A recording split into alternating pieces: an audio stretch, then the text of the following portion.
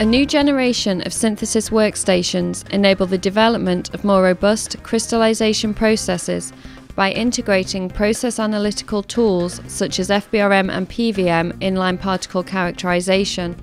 and ReactIR supersaturation measurement with a single software platform to perform scale up and scale down crystallization experiments.